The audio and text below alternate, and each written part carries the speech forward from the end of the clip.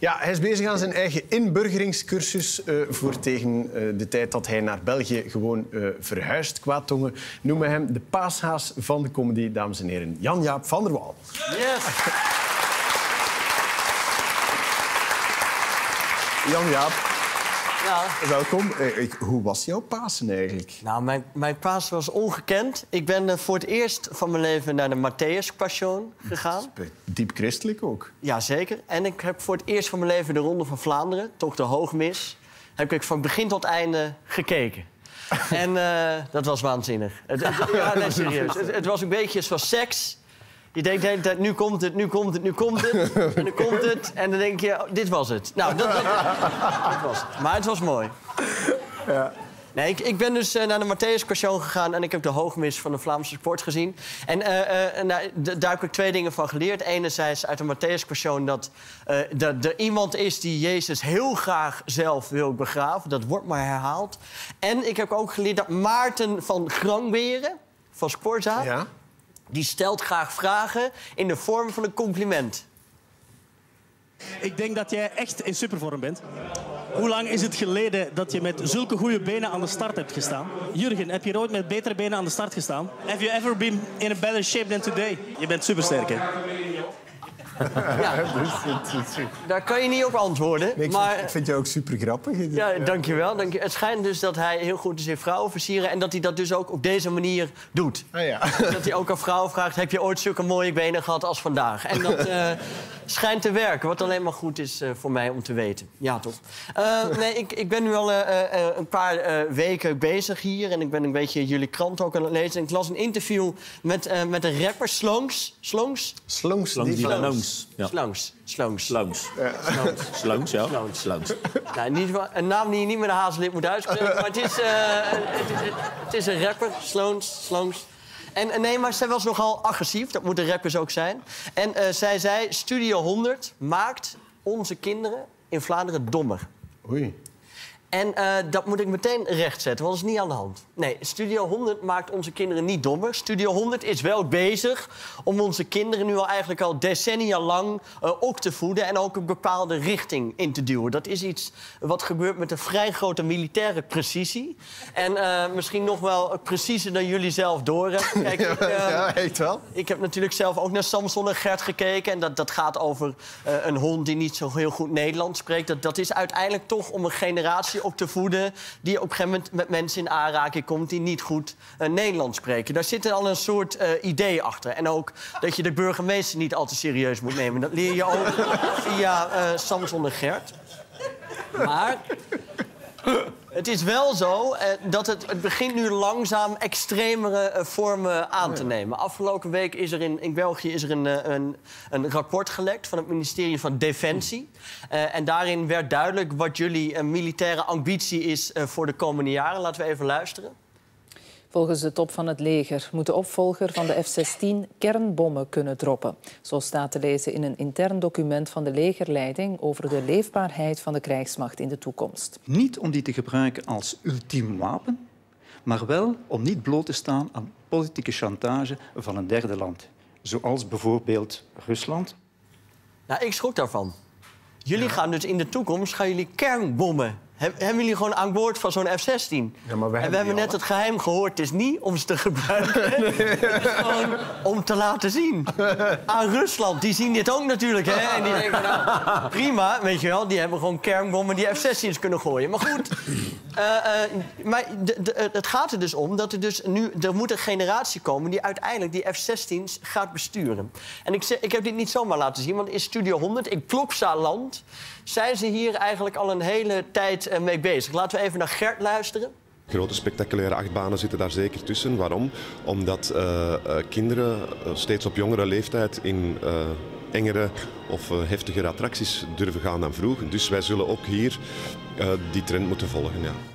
Dus ze zijn nu al bezig om kinderen in engere attracties te zetten. zodat, ze, zodat die grens dat je denkt, oeh, dit vind ik eng, dat die naar beneden gaat. Snap je? Zodat er straks eh, F-16-piloten van 16 jaar kunnen, kunnen aantreden. En dat is iets wat al een tijdje lang gaande is. We zien hier Boomba. Eh, dit is Boomba. Maar ze zijn dus in Plopsaland ook al met kernboomba-projecten zijn ze bezig. En eh, dat betekent dat er ergens in een afgelegen gebied van Kloksaland... worden dan eh, clowntjes tot ontploffing gebracht. Maar dat is allemaal om de kinderen op de een of andere manier eh, ja, op te voeden. En een van de grootste troeven natuurlijk van Studio 100 is eh, K3. Ook daarin zit natuurlijk een enorme eh opvoedkundige eh, element. Oh, ik voel mij plots weer zo oja lele. Dat is een pleidooi om eh, cocaïne te gebruiken. Dat, dat, dat is al lang. Maar ook K3 eh, eh, werkt met een onwaarschijnlijke militaire eh, precisie. Dat is, eh, dat is echt ongekend. Dat is, dat is heftiger dan jullie weten. Laten we nog even kort teruggaan naar de persconferentie van een aantal weken geleden... waarin het heftige nieuws eh, naar voren kwam. Laten we even kijken. Vandaag hebben wij groot nieuws.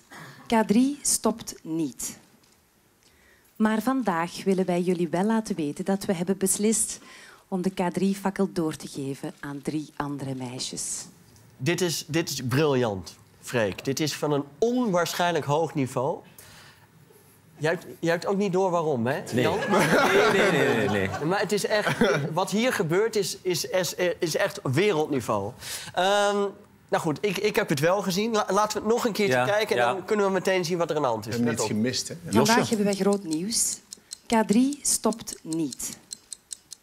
Maar vandaag willen wij jullie wel laten weten dat we hebben beslist om de K3-fakkel door te geven aan drie andere meisjes.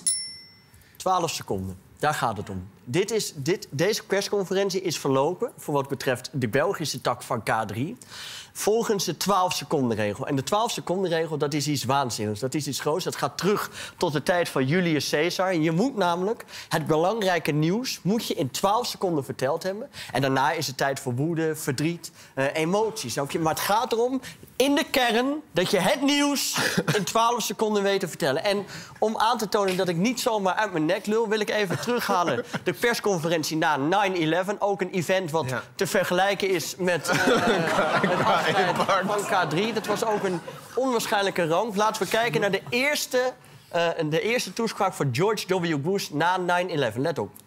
Uh, today we've had a national tragedy. Uh, two airplanes have crashed into the World Trade Center in an apparent terrorist attack on our country. Nou, 12 seconden. Nogmaals, Studio 100 die doet niet zomaar dingen. snap je? nee, Dit, is, dit is echt van wereldniveau. En eh, eh, om, om nog één voorbeeld te geven, dat is eh, Barack Obama. Nadat Osama Bin Laden is gepakt, geeft een toespraak. Let op. Good evening. Tonight, I can report to the American people and to the world that the United States has conducted an operation that killed Osama bin Laden, the leader of Al Qaeda. Het is, het is onwaarschijnlijk, maar eh, via dat eh, principe opereert K3 dus. En, ehm, en je ziet dus ook dat de Nederlandse tak van K3 die er later bijgekomen is... dat, dat is Josje natuurlijk, Ja. daar is al eh, veel eh, over gezegd. Ik moet wat dat betreft het imago van de blonde Nederlander weer een beetje oppoetsen. En, en zij, ehm, nou goed, zij redt het ook niet, die 12 seconden. Laten we even luisteren. Maar we hopen ook dat we bij deze nu kunnen uitleggen wat er gaat gebeuren en waarom. En dat hopen we ook dat iedereen dat zal begrijpen op den duur. Het is bij ons ook niet over één nacht ijs gegaan, zoals ik al zei net. Oh, Ze weet het ook, hè? Ja, ze- ze dat ze er trekt- is over gegaan. er een hoofd bij alsof ze denkt... ik weet ook niet wat ik zelf net gezegd heb. En, eh, maar goed, dat is ook een beetje haar imago natuurlijk. Aan de andere kant eh, eh, moet, ik het, moet ik het wel eh, eh, voor Josje ook nemen. Ik bedoel, het is niet eh, de Nederlander met de meest beroerde timing. Want dat, die hebben we gisteren natuurlijk gezien. Dat was een Nicky Terpstra. Hij is tweede geworden in de Ronde van Vlaanderen. Kijk, hij gaat hier een champagnefles eh, openen. Dat lukt niet helemaal, zoals je ziet. De rest gaat spuiten, maar ja, hij denkt, nou ja, laat maar gaan. en hij denkt net als bij die sprint, weet je wel, ik kan dit gewoon niet, ik hou, ik hou ermee op. En ehm, hij zet hem gewoon maar neer. En dan 1 minuut 20, ik heb echt geteld, 1 minuut 20 eh, seconden later, dus dat is ver boven de 12 seconden regel, hup. Daar Dat is... Dat is... En je, en je, ziet die, je ziet die blonde vrouw erachter kijken. Dit heb ik eerder gezien. Dat, dat, dat zie je er ook. Schitterend. Jan-Jaap van der Wal. Ja, ja.